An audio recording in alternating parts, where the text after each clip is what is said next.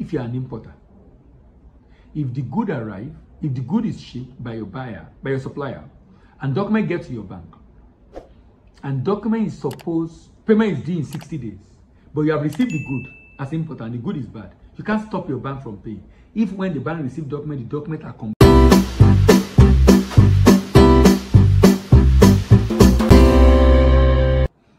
Yeah, good day. My name is Dele Ayemibo. I'm your expert doctor, and today I'll be talking about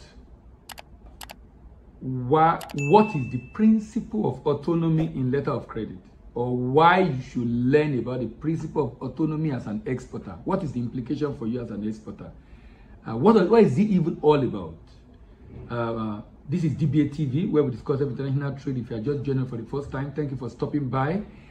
Now, in today's video, First of all, I would like to start by saying there are two principles that get out of credit transaction. One is called the principle of autonomy, the other one is called the principle of strict compliance. So in this video, my focus will be on autonomy.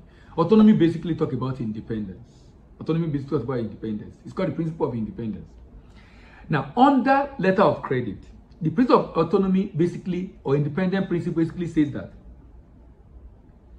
a letter of credit is independent of every contract around it.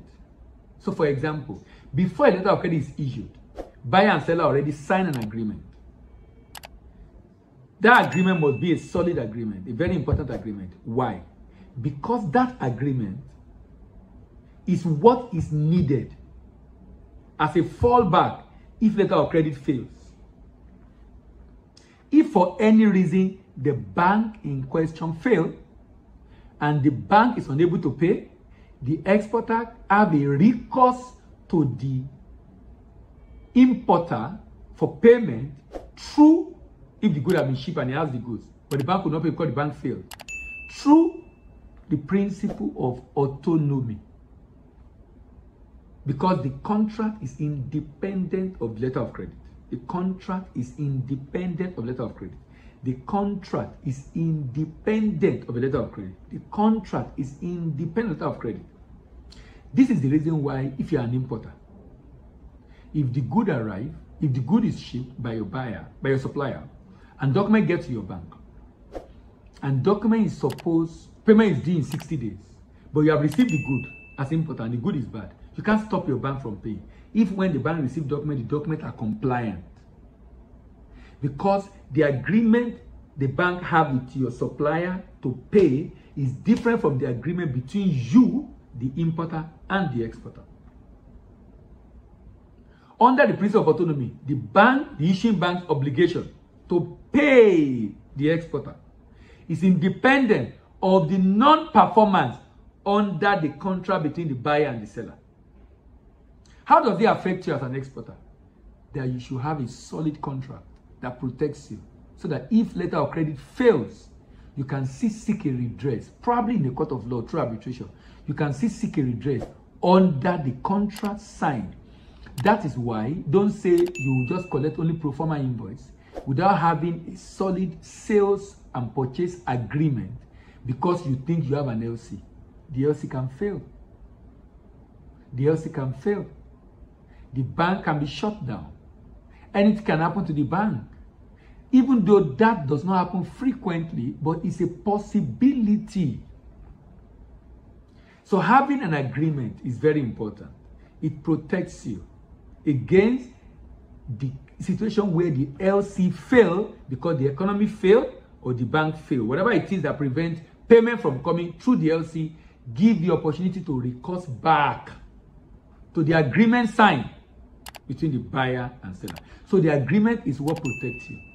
The principle of autonomy is letting you know that if for any reason the contract, the LC fail, you can still get paid because the LC is independent of the underlying agreement between the buyer and the seller. I hope this is clear. The principle of autonomy or the principle of independence. This is particularly important for bankers and particularly for importers. Particularly for importers. Particularly for importers. This is the reason why an importer needs to ensure that there is a pre-shipment inspection. Because it's with autonomy, exporter can ship rubbish and he will be paid. Because bank deal in document and not in goods. Bank deal in document and not in goods. Bank deal in documents and not in goods. Because bank deal in document and not in goods, that means the bank can pay if the documents are right. The bank can pay if the documents are right, even though the goods being shipped, the good being shipped are bad. Even though the good being shipped are bad. This law and principle is very important for importers. Exporters should ensure you have good contract to protect you. Importers should ensure you have good contract. I mean, you have pre-shipment inspection agent to do inspection and confirm the quality of item being shipped to you so that you don't get to have rubbish being shipped to you. I hope this video has been of help to you. If it has been of help, give it a thumbs up. If you have friends who are importers who need to hear about it, share with them. Share with your friends. Don't just share with them. If you have questions around letter of credit, and I will talking a lot on different letter of credit in this series, drop your comment in the comment section. But more importantly for me is the fact that you subscribe and join the community of those who are learning from DBA TV. My name is Dele Ayemibo, and I'm your expert doctor, and I'm signing out.